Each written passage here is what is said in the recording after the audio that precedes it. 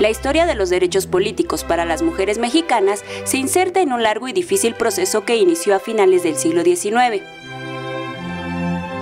Después de que las sufragistas mexicanas lograran en 1947 la participación activa en la vida política de los municipios, los grupos de mujeres intentaron congregarse en un solo organismo para así obtener más fuerza.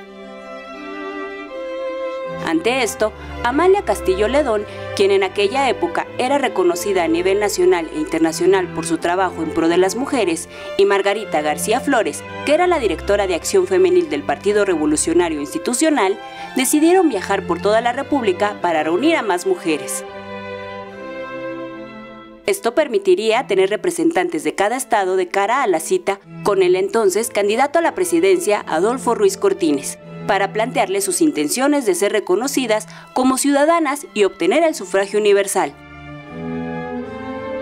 Así, el 6 de abril de 1952 se realizó la Asamblea Nacional Femenil en el Parque Deportivo 18 de marzo con la asistencia de aproximadamente más de 20.000 mujeres y la presencia del candidato.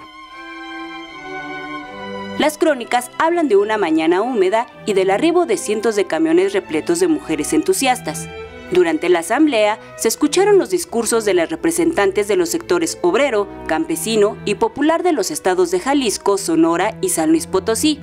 quienes no cedieron en sus exigencias hacia Ruiz Cortines, candidato que al final no tuvo más remedio que comprometerse a iniciar las reformas constitucionales para reconocer la igualdad política a la mujer.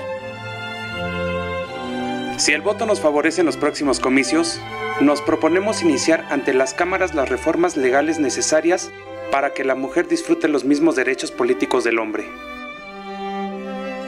El primero de diciembre de 1952, Adolfo Ruiz Cortines tomó protesta como presidente de México y en su discurso de toma de posesión anunció que enviaría a las cámaras una iniciativa de reforma constitucional de los artículos relativos al voto femenino.